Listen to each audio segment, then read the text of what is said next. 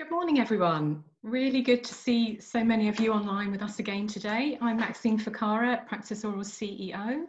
It's my pleasure to welcome you to the latest in our series of SHEDTalks, where we talk candidly with influential individuals from the knowledge exchange ecosystem. And we're all really looking forward to hearing from Alice Hu-Wagner from the British Business Bank today.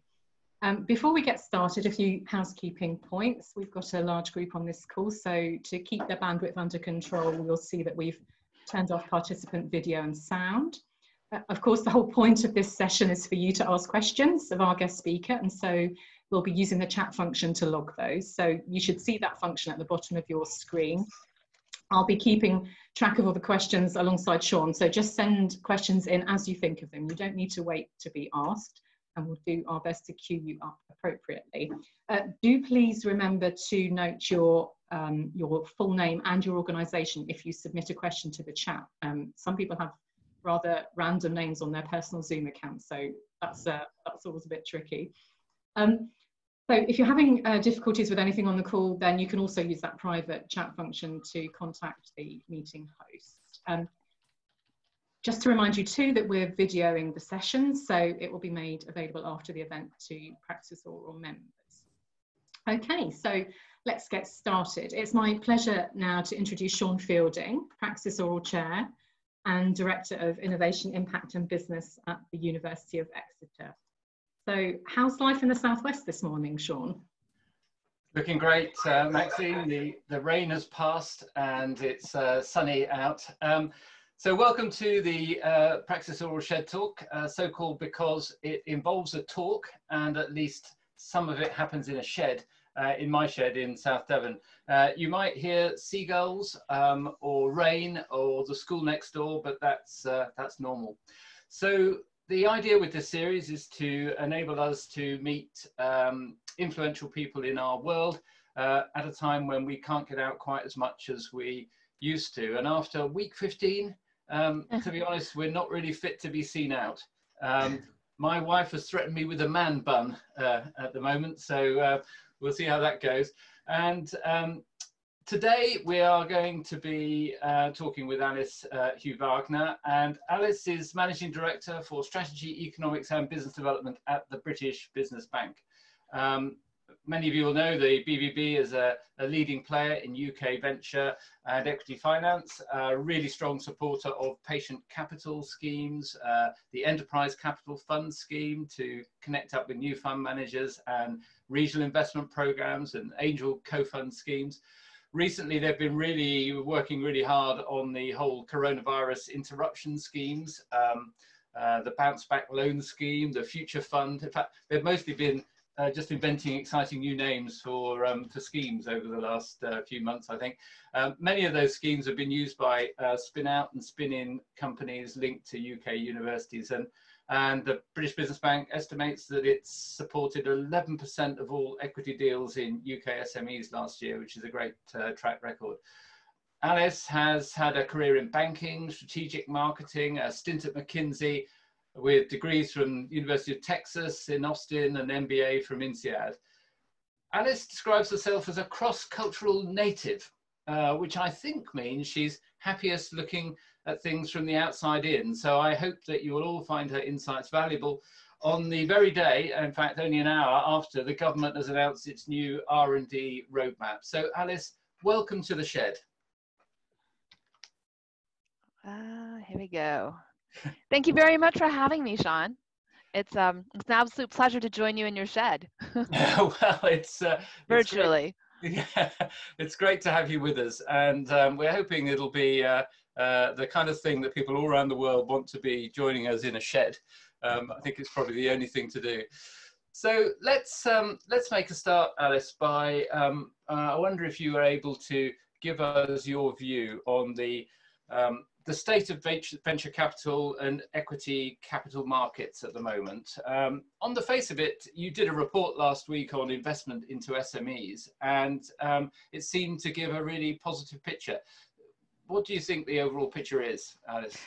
Well, the thing is, is that the data in the equity markets always lags, right? So, so that's always, you know, uh, important to realize that you're looking at the rear view mirror as you're trying to sort of navigate your way forward, um, and and quite how far back you're seeing. So, the data that we shared last uh, week was mostly to the end of 2019, although we did have some sort of early uh, Q1 data as well. And what it showed was 2019 was a was a peak year. It was really good, but it was already showing some signs of weakness, some softening um, particularly in the early stage uh, venture capital, which is of course the area that um, your uh, the audience that, that we have today is going to be particularly interested in. Um, I didn't want to call, we, we, saw some softness in 2018 already, and I didn't want to call it because, you know, one or two data points does not a trend make. But, but we are we are seeing some signs of, of concern.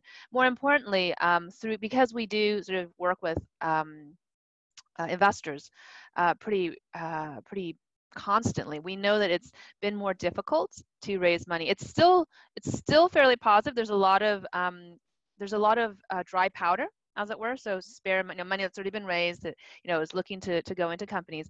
But a lot of that is going to go into the existing portfolio companies, right? People who have already had their first stake. Um, there is some concerns about if you haven't already gotten in, you know, how much bandwidth, how much money is there for folks who um, who are sort of raising their first round. So uh, you know, and we'll have to see how that goes over time. Um, but at the moment we're definitely keeping a weather eye on on the entire sector. And, and of course you guys will have known with the with the future fund that's explicitly out there to try and help sort of bridge sort of rounds where you know if there's a just just a problem of timing like if you know if you, if you were just trying to raise and it was a really difficult time um, that the future fund was was able to sort of have the government inject some additional firepower so that you know people would be able to to, to get through sort of yeah. this, this just this immediate coronavirus sort of crunch time where basically you know it's not true that all by the way it's not true that all sort of um, deals have, have stopped. I mean a lot of deals we know did happen via zoom you know have signed sort of remotely and we, we we're, we're aware of that happening. But i think it is fair to say that those were transactions where they were pretty far down the road you know where there was a lot of social capital people had met before you know they're just trying to get to the end um, it's a, it's where there's not a social capital. You're still trying to get to meet people. That's the part where what we're doing right now is is a lot harder. I mean, like Sean, you and I, you know, we were at a dinner together, weren't we? Sort of with PraxisAuril, like literally right before um, sort of the whole thing locked down, and that makes sort of talking to you yeah. ever so much easier, even though you know you're you know you're hundreds of miles away from me. Yeah. It's it would be different if I had never met you before, right? So it might be an area that we come back to later on in thinking about the, um, you know, what comes next. Yeah, how do we build up social capital uh, again?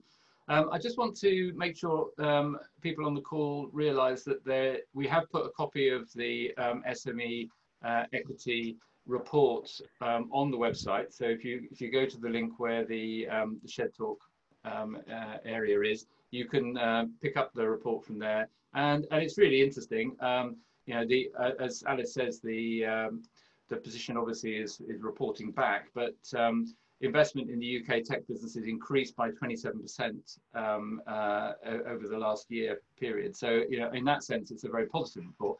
But we'll come on to some of the things it's um, it's less strong on, and uh, and where we see the, things moving later on. Um, just thinking about that landscape overall, Alice, where where do you think university ventures and funding partnerships with universities, where do they fit into that? So we, I mean, the R&D uh, landscape being published today is absolutely critical because we, we know that uh, that is actually the sort of foundation for a lot of the best sort of investments in the UK, particularly deep tech, anything that's science based, anything you know that's um, R&D based. Not not all not all not all um, startups are, but there is actually a substantial portion that is, and so and it's actually um, if you look at the areas, the sectors where the UK is strongest, for example, life sciences, um, quantum, uh, those are both sectors that are deeply rooted in the university you know uh, ecosystem. I mean, I think I think I'm, I do not know if this um, number is correct, but I've heard it said that something like 50% of all life sciences sort of um, startups that get VC funding originate one way or the other out of the university sector. Yeah, I can't I can't verify that number, but that's it sounds plausible. And um, and what that means is is that um, in a lot of ways, the R&D that, is, that goes into the university system, into the, the research system, um, basically is the foundation for creating the seedlings that the private sector can then invest in sort of over time. So, so it's really critical. Yeah. And therefore, um, yeah, finding ways of supporting that um, area um, presumably also becomes critical. Uh, and we'll, we'll come back to that uh, in a second, I think. So just, just come back to the COVID um, question. You know, that we've seen effects on the markets, you know, overall um, going up and down um, over this period. Um, what, what are you feeling in terms of the, the so this over this next year? Are you feeling bullish? Is the is the community feeling bullish about the opportunities, or are they going to um, retrench because the markets are going down? Is what's the feeling? The well, I mean, let's let's put some okay. Let's put some context around this. Okay, venture capitalists uh, or investors in general in the early stage are inveterate optimists.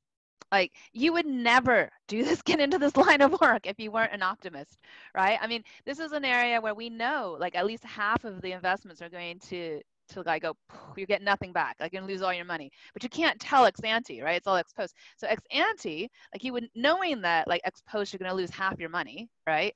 But you don't know which half. You mm-hmm. kind of have to be optimistic about it right and and that's the other thing it's um we, we find that the early stage companies have not been so this is some Beauhurst data that came out have not been impacted that much by corona I mean, some. I mean, there are some. I mean, they're impacted by the things like, for example, um, you know, if you can't get into your uh, your business and you can't tinker with things, you can't go into the workshop, you can't go into the lab. That that's a problem. But generally speaking, if you're early stage, you weren't having any revenues anyway to lose, right?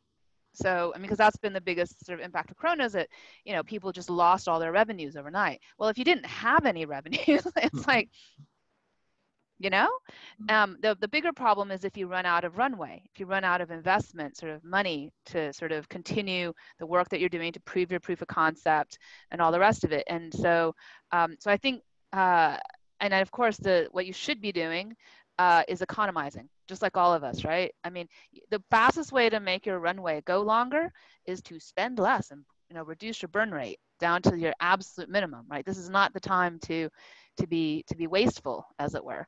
Um, but so therefore, I think we are reasonably positive.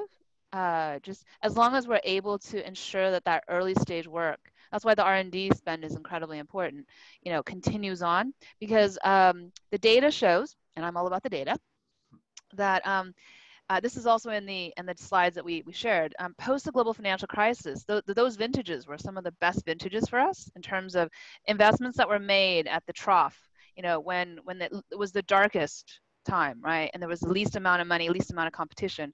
Um, if you were strong enough to get uh, investments at that point, some of those were the best investments over the long term that, that, that did the best, right? I mean, it's a big if. You know, the, the if if you can survive through and you know persevere and you know convince people to give you money and and you know go on those tend to be really fantastic sort of outcomes disproportionately. Yeah, yeah absolutely. Uh, and if you if you think about um, getting ourselves out of the um, the current crisis um, it's really good to see that R&D pathway um, document that's been uh, roadmap that's been uh, been developed uh, because otherwise it seemed like the government was really just hoping that the pubs would do it for us. um, yeah. um, but if you think of your the place of British Business Bank in all of that, um, what do you see as the as the key problems that British Business Bank's trying to solve um, for this community? So there are there, there are definitely two philosophical sort of um, points of view on this um, and you know i have had conversations with uh, marina Mazzucato for example at, at ucl about this. Um, uh, and there's basically there's there's two things. There's there's treasury orthodoxy, which says, you know, the British Business Bank is here to fix where the, the markets don't work, right? And I think you can make a case that the early stage investing is an area, it's a market, it's a market failure, and that it doesn't work. And so we we have a legitimate role in terms of um, ensuring that you know, fixing those market gaps by injecting capital and coordination and all the rest of it. There's another side though, which is Marina's Marina's sort of view, which is, you know, if there's no there there, right, the government's uh, job is to create the markets to begin with, right? Because this one says you kind of work with the, the, players that are there and you try to make them stronger. But if it's if there's nothing there at all, you you know there's no market that's broken. It just doesn't exist, right? So you know it, it doesn't exist for a reason. Marina's view is if it doesn't exist, make it exist, right? Which is a little bit riskier and philosophically coming from a slightly different place. So um, I'll give you an ex- I mean the two in practice are actually kissing cousins. They're not it's not either or you know as with many things in life it's a spectrum isn't it and it's not it's not a digital sort of trade-off um, so so what, what we can do what we've been doing is we've been trying to where there are seedlings um, there are people doing good things we try to back them. So i can finally talk about um, Epidarex which is a 102 million pound fund. Uh, it's an enterprise capital fund um, and it's headquartered in edinburgh.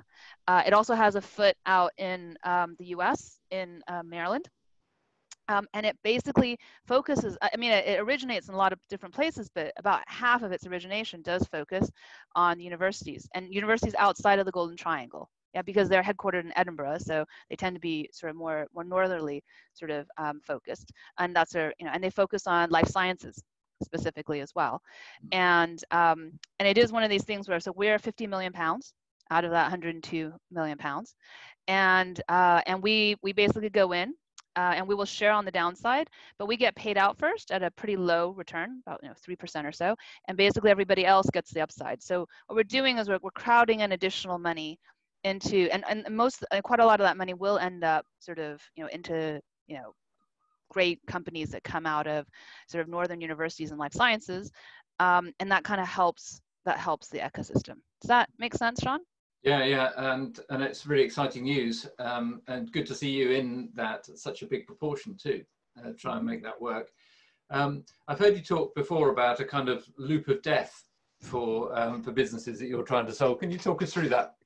Yes. So so I mean, basically, what we see is that there's not enough money from the private sector that goes into a particularly early stage investments, right? And because there's not enough fund managers with not enough money, then they make sort of fewer numbers of investments and the amount that they can give to each company is is less. Okay, so that means fewer companies get it and they they have shorter runways.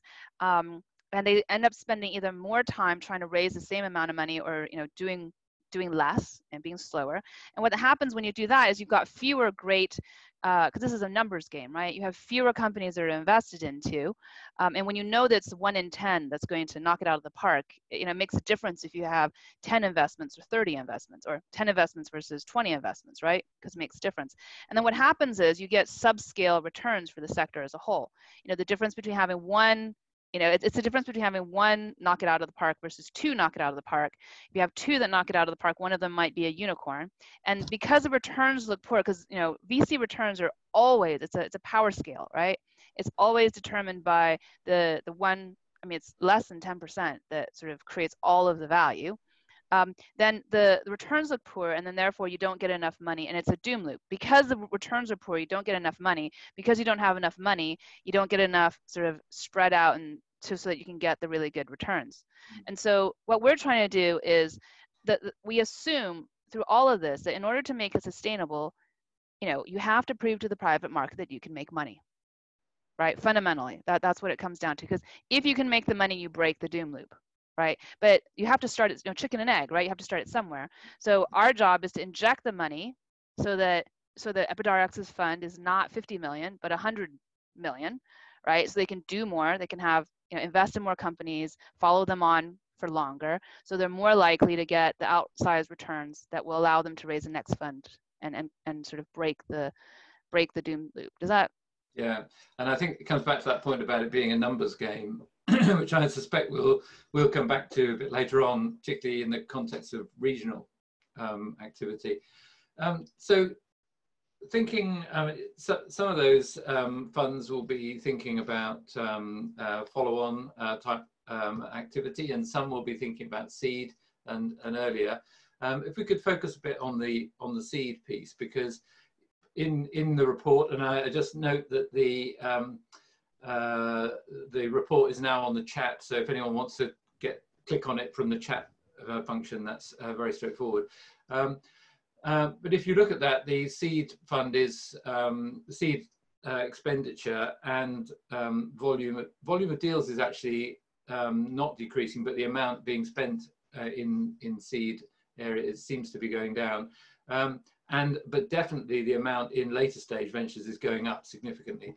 Um, whose job do you think it is to um, to reignite that funding for the early stage um, uh, pipeline?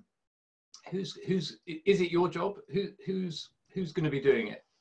Well, the thing is, is the early stage stuff is hard graft, and I don't need to tell that to the people who are on this call, right? I mm-hmm. mean, um, there there is there's a natural tendency for a fund manager, like if if you can do, it takes the same amount of effort to do a bigger deal as it does to do a smaller deal, right? So all else being equal, you'll do the bigger deal, given that your time as a human being is is constrained, mm-hmm. right? So what happens is the people who do the smaller deals either are, have to, like they, they don't have the ability to do the bigger deals because their funds are smaller because they don't have the credibility, or they want to, right? Because there's the smaller deals, you know, um, feed their bigger deals. Uh, so that, that can, you know, that can make sense from it. Or they, from a purpose perspective, believe in it, right? Because sometimes it's actually more fun in some ways to do the smaller deals.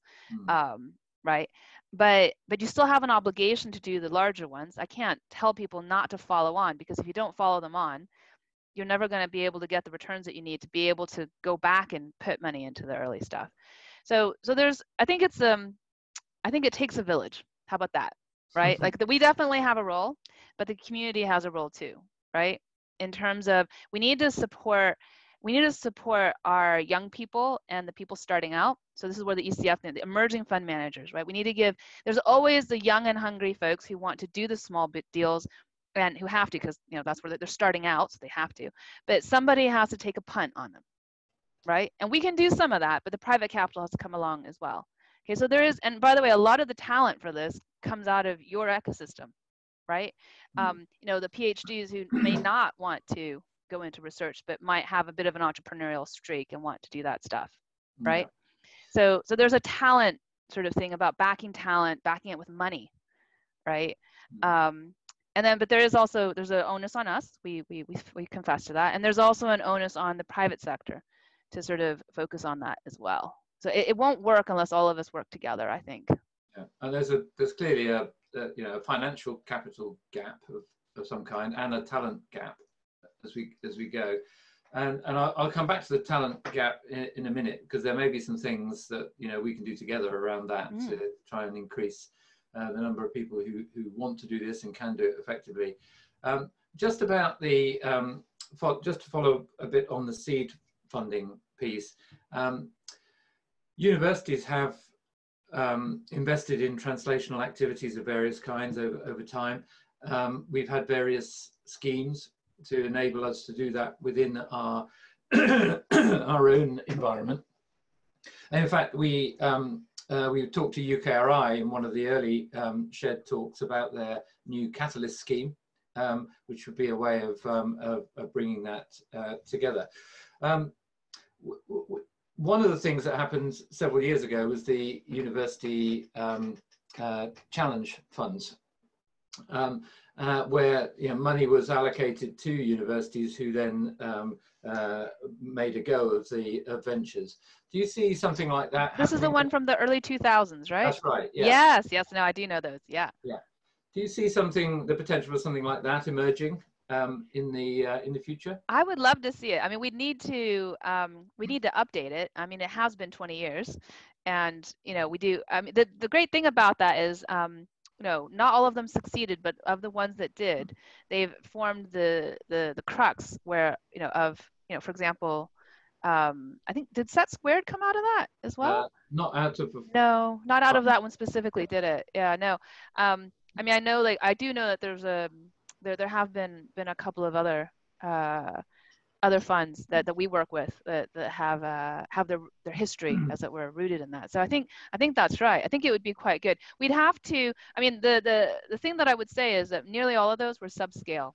I mean, I think it was like 20 million pounds, something yeah. ridiculous. I mean, it's just, I mean, I mean, even adjusted for inflation, it wasn't enough money, right? Um, and so and so the ones that succeeded were the ones that realized that very early on and then and very aggressively try to raise additional money from their universities or from private capital or whatever in order to survive to get to a it, it's the doom it's a doom loop right? So there's a critical mass thing where like if you don't have a, a critical size the maths just don't work. Um, you know there's a minimum fund size that we know right? Like yeah. you know people need to eat. Like if you don't if you don't have if you don't have a fund of a sufficient size so that the um, the management fee is enough to pay for high quality staff like it just mathematically does not work. So um so you know we do that's that is one of, so i think there are things that we could do to that but yeah no it was, it was i think the um the root concept is a is a sound one. Yeah. What do you think? Um, well i think there's a lot of um, interest in that and um, also interest in the um, enterprise capital fund uh, as a kind of vehicle for encouraging that somehow. Um, mm-hmm. so i think um, uh, the idea of a, a, university enterprise capital fund somehow that um, is targeted on those kinds of projects may be rather attractive. Um, but I, I don't think it should be just focused on um, spinouts. It it's mm -hmm. you know be part of that bigger ecosystem um, piece that um, certainly in SETsquared that the you know and in some of the um, CCF projects which have that broader group that group of businesses that come together. It just gives enough critical mass to make it work. I think. Yeah, no, I mean, I love what you guys have done in SETsquared, you know, about sort of being more open minded, you know, that you don't have to keep yourself within your university ecosystem, you know, that in order to build that critical mass of high quality deals, that you reach out. I mean, knowledge exchange is about reaching out, isn't it, into society um, and, and, working with your local communities to sort of, you know, help.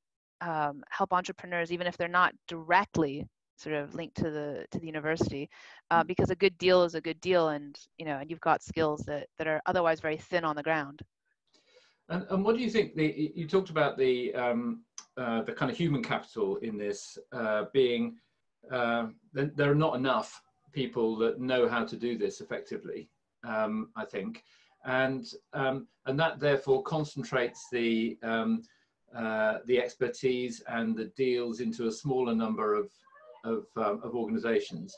Um, uh, and, and Emma Thorne has asked the question about, um, you know, how is that a concern that there's a concentration of investment in fewer companies, bigger deals? What impact does that have on the pipeline um, uh, of, you know, because companies trying to raise investment, they've got a smaller group of people to go to. Um, I think I think you probably answered that question in terms of you know overall that that that picture of not enough money in the in the system. But I wonder about the um, you know from an investor's point of view, how does it feel um, to be um, presented with these kinds of deals that they might not understand? Um, it feels like there's a kind of information asymmetry going on. You know, I, absolutely. am not quite sure how to do this, and yeah, um, no, absolutely. Particularly with anything to do with universities where there's science involved, right? Yeah. Yeah, or or even just sort of technical stuff involved um, because this, this applies in the humanities as well, actually. Um, seriously, it does. Um, anything where you need to have technical mastery to basically understand whether to understand the underlying sort of business sort of proposition and the customer, you know, product customer fit is is uh, is more challenging from an information asymmetry. So. Um, so first of all, I, I guess what I would say is that the BBB broadly, I mean, it's, it's baked into our objectives, right? We are explicitly tasked with in um, supporting diversity. Okay, and I don't mean I mean diversity in terms of you know people who look different and all the rest of it, but also diversity in terms of choice, right? So that if you're starting up a company, you've got you know multiple people to talk to, not just one person to talk to, right? And then you've got choices in terms of you could go with debt or equity or this or that. Like we're here, we're about because we came out of the global financial crisis, um, and we were founded by a, an economist actually. The whole idea of, of useful competition is is baked into us, and so we, all else being equal, we we definitely try not to. Um, we try not to help mono- natural monopolies or oligopolies continue. Does that make sense? Yeah. So so we totally agree that like we don't want to see concentration we don't want to see too much concentration. Now that being said, the, the fewer bigger deals is a is a maturity aspect we think. Okay, it's okay to have the big deals as long as the little deals are also happening. Like it's not either or, right? Like we're trying to make it so it's not it's not a zero sum game. Like we want to see those bigger deals happening because we know that unless we concentrate fire and allow the bigger deals to happen, we'll never have enough unicorns, enough throw off enough sort of return off to be able to keep money coming in.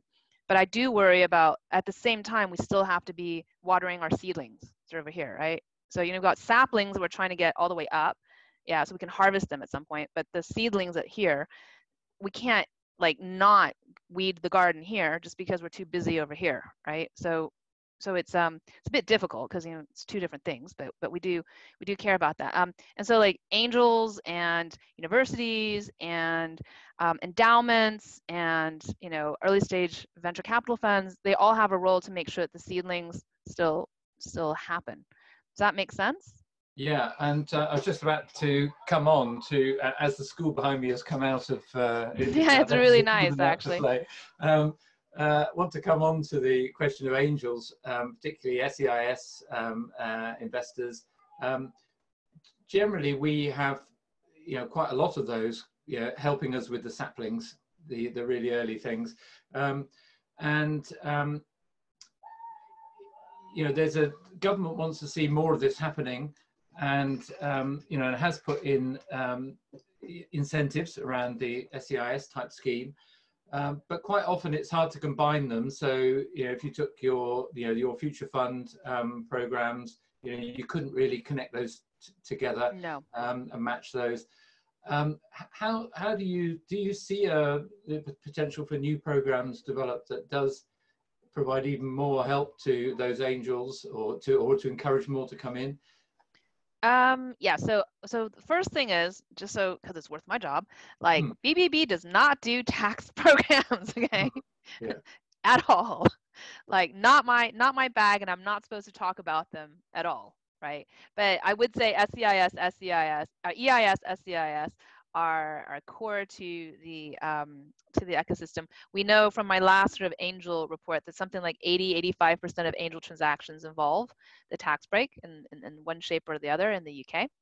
Um, and so, so they're absolutely important. Um, to, we know we, we acknowledge that they're part of the of the system. But that, in addition to that, yes, of course. You we have we have two co-fund sort of um, programs. So uh, one is the regional angel program, um, where you know we will uh, for existing these have to be pretty well established angel networks. We do due diligence on the the overall approach. It's almost like an angel fund, as it were. Uh, and then basically once we agree a particular investment strategy, we basically put in say five to 10 million pounds and go every deal that looks like that, we'll put in 40, 50% of the deal. Now, one of the things that would be really lovely to see, but I know that this is hard in a university sort of context, is to see i mean universities some of them have some pretty cool alumni right? You could do an uh, sorry originally american you can tell from the accent. Like you know for me universities are like massive um, affiliations right? I mean people are very loyal to their universities in the states. And um, and so you could do you know a university based or a group of university based sort of you know angel network that could invest in the underlying um, opportunities. Uh, and then, you know, once you have that up and going, you know, our co- our program could come in and sort of come come alongside to provide extra firepower. We, I mean, it's, commercial, so you need to prove that you can sort of make money. This is, you know, this is not philanthropy actually.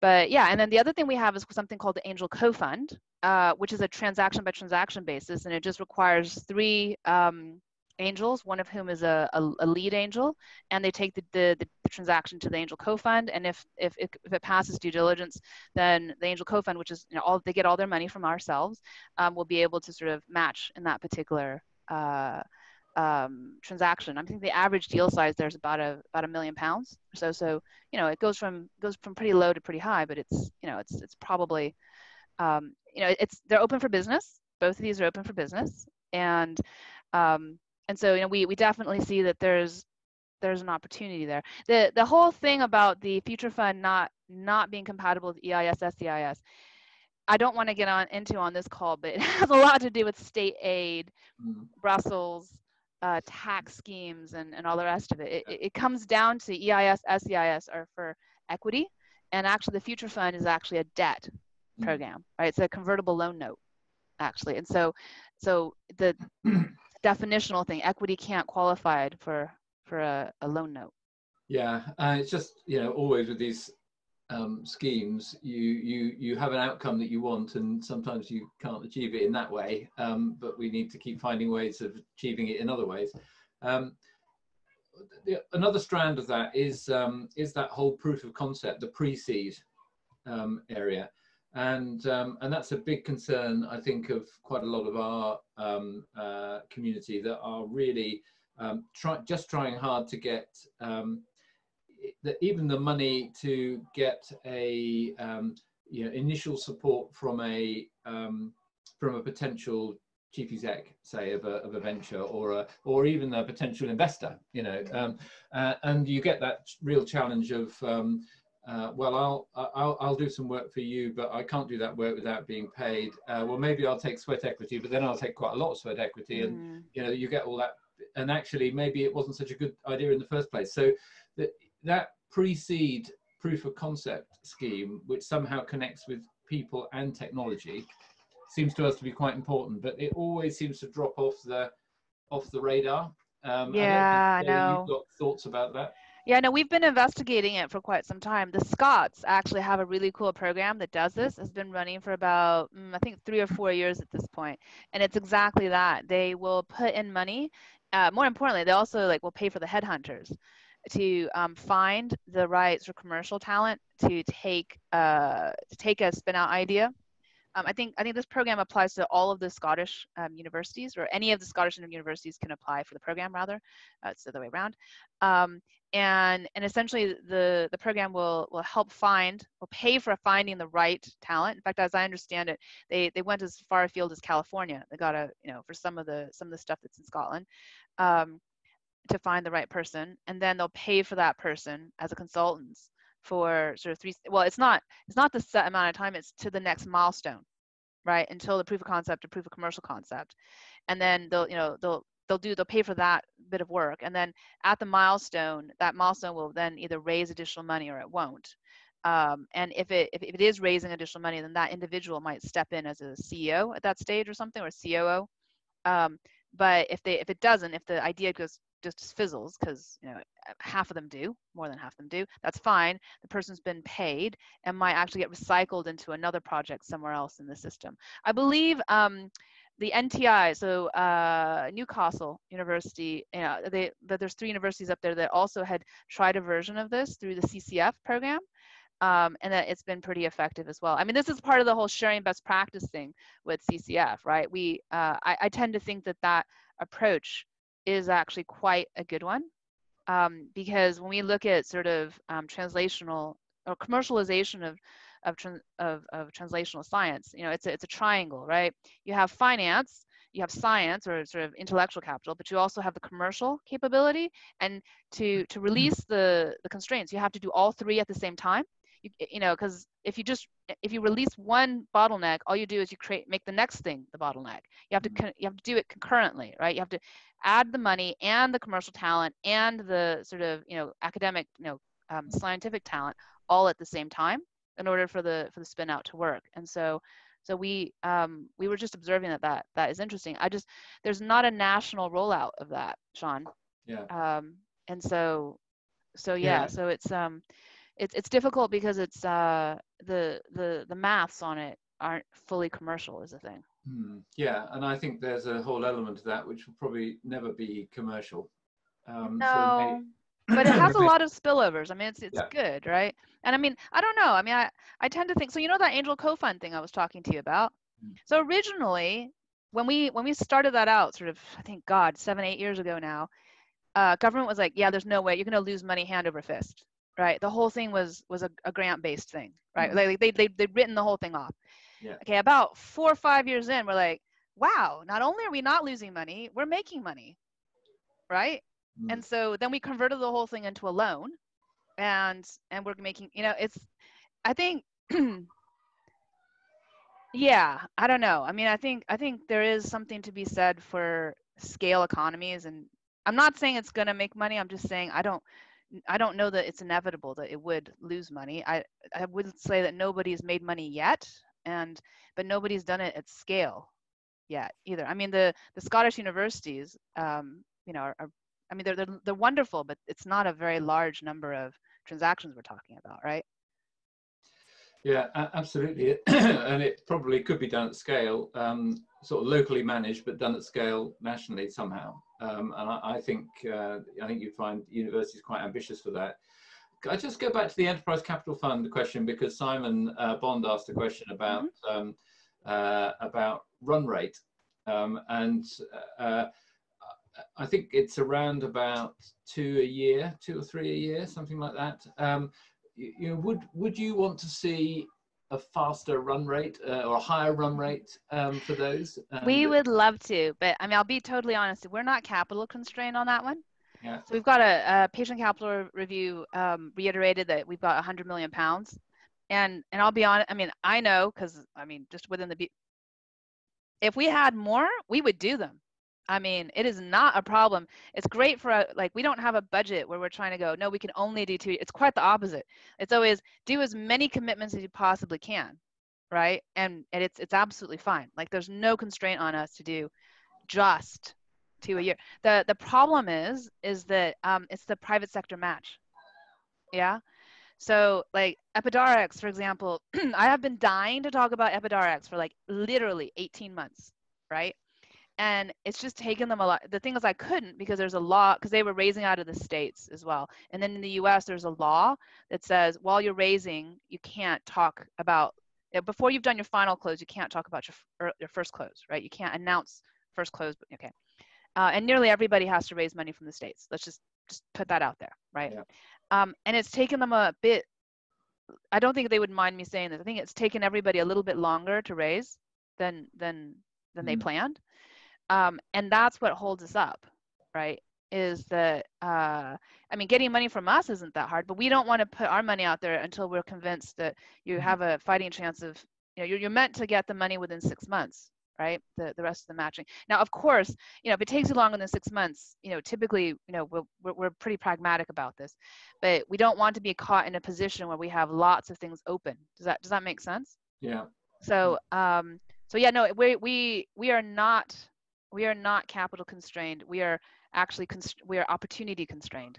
Yeah, so that's a great challenge um, to put to us, isn't it? Um, uh, and that brings me to regional yeah. questions. So Epidarex, based in Edinburgh, mm-hmm. um, deliberately facing not the Golden Triangle.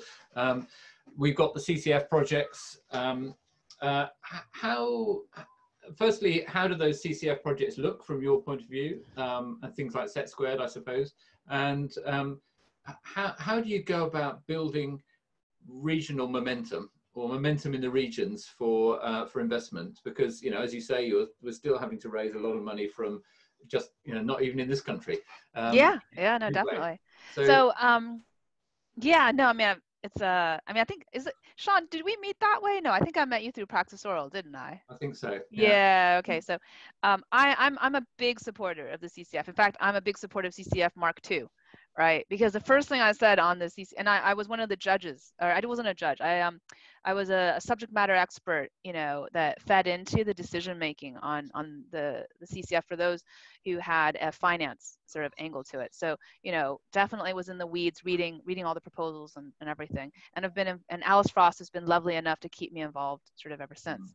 Um, big big supporter of it. But I would say two things. First of all, the CCF thing only being three years. I know why it's three years, but it's like, dude three years? You gotta be joking me. I mean like three years is just enough to get started. Like you need to be able to have more than three years. So that's why i think ccf mark ii is is absolutely essential. But two i'm really pleased about it because um, there's this whole concept of critical mass particularly out in the regions. And this is why we did the the regional angel program. It's the same same conceptual base which is you need to have uh, enough deal flow of high quality deals okay, in order to be able to support the people and to support a fund and the fee structure. Okay, and the truth is, is that any individual university does not generate enough. Okay, I mean, mm-hmm. even even Cambridge, Oxford, UCL, you know, it's it's touch and go, mm-hmm. right? Um, I mean, just about, but yeah, uh, it's not it's not like it's it's you know way over or anything like that. Um, and so therefore, the only, particularly outside the Golden Triangle, what you need to do is you need groups. And CCF is basically a way of getting the coalitions of the willing, right? Because I know that universities, and I think government has a lot to answer for here, you know, you guys are not necessarily encouraged to collaborate all the time, but mm-hmm. rather compete. And I mean, I have my own views about that, but I can tell you for sure as an investor that in this case, you know, it there has to be like a single, well, an easy door to get in. Consistency would be nice. Um, but then, you know, enough stuff that's happening frequently enough that it, it's worth someone's while to sort of maintain that relationship. Yeah. Right. And mm-hmm. so what CCF does is it provide, I mean, um, the the finance, like my lot, we can't pay for that underlying infrastructure, right? The people, the the, the combined TTO, right, to to maintain the front door, right? Yeah. We can we can make sure that there are people that can come in, and by the way, it should be more than one, obviously. Mm-hmm. Like you know, please don't do anything sort of um, like I, I, think I think it's gone out of style, thank goodness. But the whole whole concept of um, exclusive deals is not a great one. Like you know, cross reference the whole like having a lot of choice is better than not having a lot of choice. Um, by the way, just as a complete aside, um, there's a good reason for that, right? Because every single VC has their own take on things, and they tend to be like know one particular subsector. So I mean, life sciences is like vast, right? I mean, no, you need to know about immunotherapy specifically, and within immunotherapy, a particular, I mean, like, yeah. And so it is not good if you have one, just one person, to, one entity to talk to. It's much better if you have a whole range of different people knowing different things, different views, to yeah. for for your for your spinouts to to be able to face off to. Yeah. So does that make sense? Yeah, I think, and I think we're, um, you, you know, I think we we are pretty used to that now with schemes that you know can open operate locally, can can operate nationally with players coming in from different areas for different things. I, I think that's um, I think that's natural. But I am pleased to see you you think uh, you know having clusters of clusters of organisations coming together, whether it's regionally or sectoral, presumably, and, yeah. And, uh, actually uh, would be strong.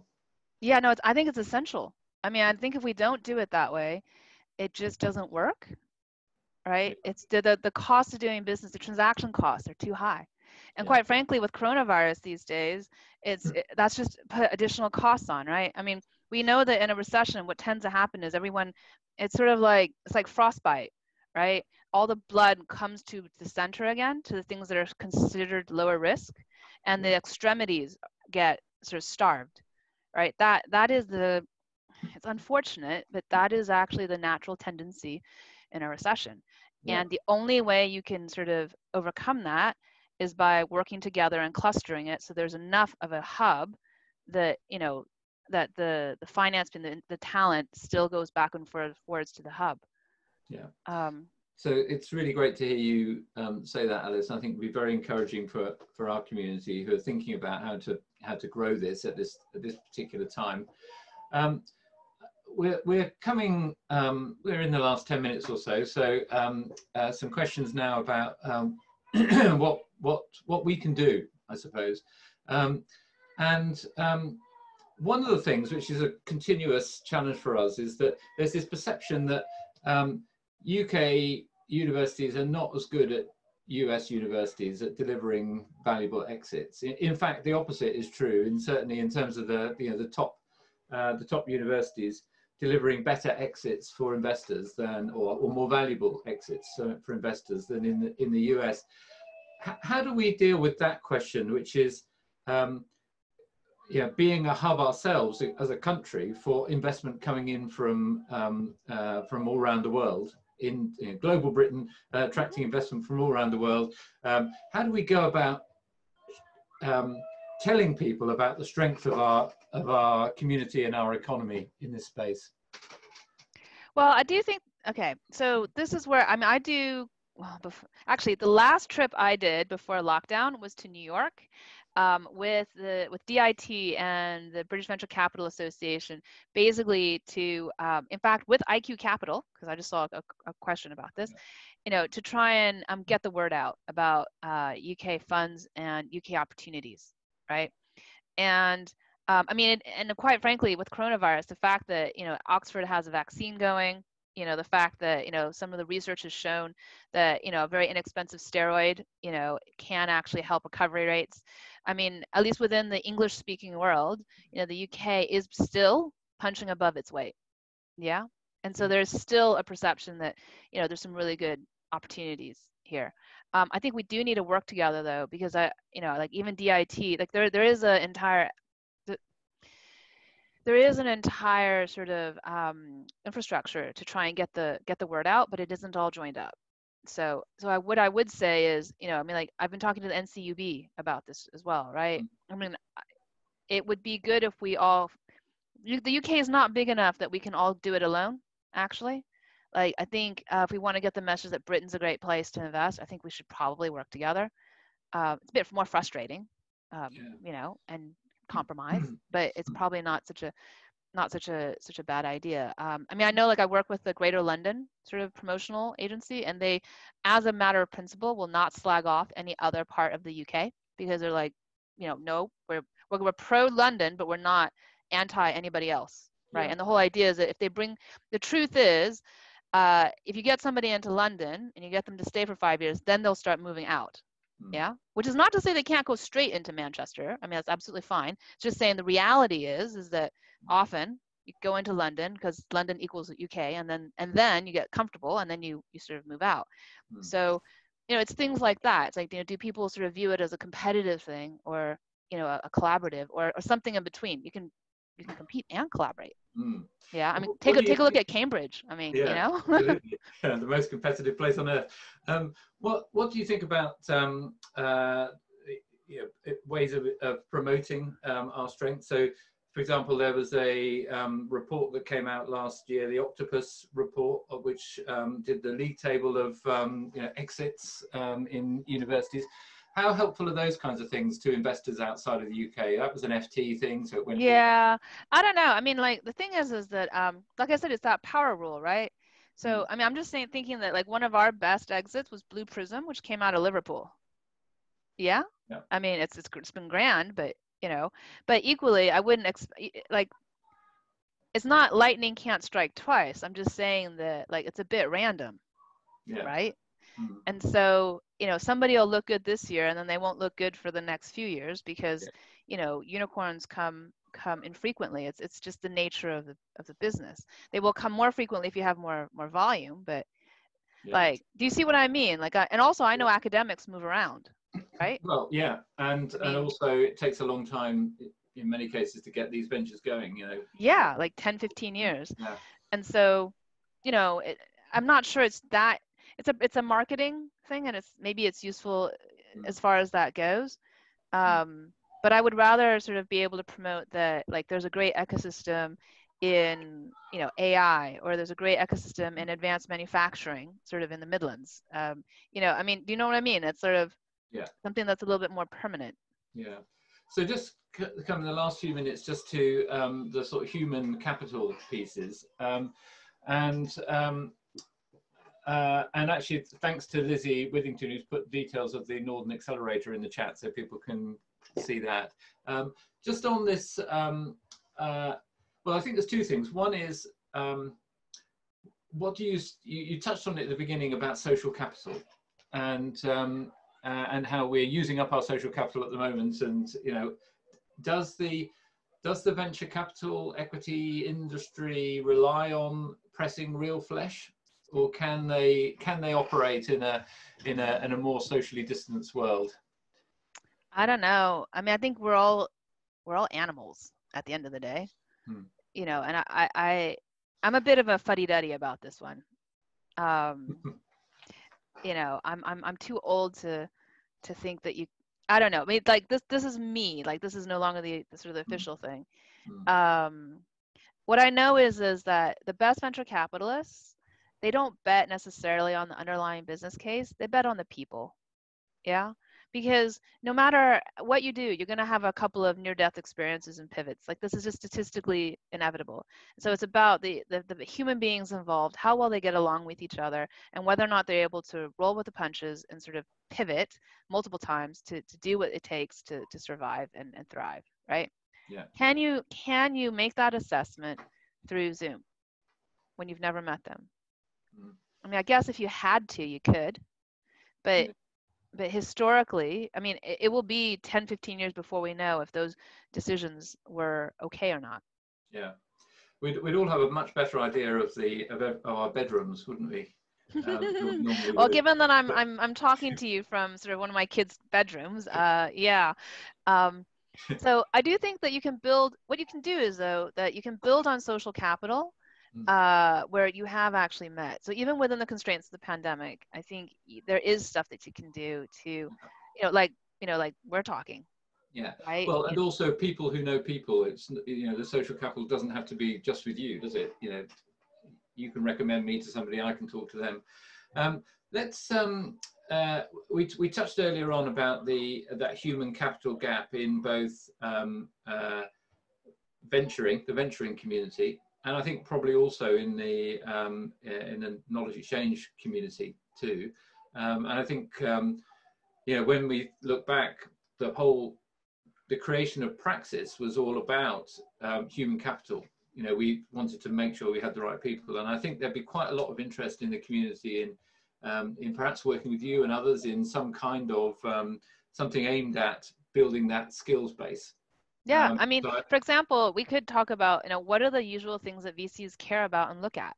Yeah. Yeah, yeah. I mean that that sh- everyone should kind of vaguely know that, and then yeah. and and in the concrete terms, right? I think that's the kind of thing we could we could collaborate on and, and, so and I think I'll, yeah, I'll come back to you on that. I think that's a really good plan. Uh, can I just have one final question then, um, which is um, what advice would you give to yeah, founders of high tech companies, deep tech companies starting now? Um, yeah, are they better off just putting everything off because it's all a bit difficult? Should they press ahead? What's your what's your thinking? I think they should press ahead but in a cautious manner. I mean, in a in a reasonable manner. Um, so, you know, you do need to make sure that uh, you're that you have some runway, um, which is a, a, factor of privilege, quite frankly. Um, monitor that so that you know you're doing minimum minimum viable product means minimum, yeah. Um, but actually, risk is a relative thing. I mean, it's not exactly not risky to take a a job in um, in the corporate land right now either right and you know if you are finding yourself at a loose end you know this isn't a bad thing to sort of invest your time and efforts into quite frankly so you know i, I definitely group together but i mean the whole concept of moonlighting for example is mm-hmm. also still still a good one yeah. um, and and particularly for a lot of the people we're talking to sort of you know in who are have links to you know the r&d i mean it's not like r&d is exactly you know un you know free and easy either right now is it no. Yeah. So, so, as you said, this is the kind of period where um, the choices you make uh, can lead to big successes. We could look back on this and think of it as the the start of the golden age. Yeah, I mean, even if you fail, you learn, and you have something that you can say. This is what I was working on. It sure beats saying I was just on furlough, you know, playing on my Xbox for yeah. you know a year. Yeah. Right. So.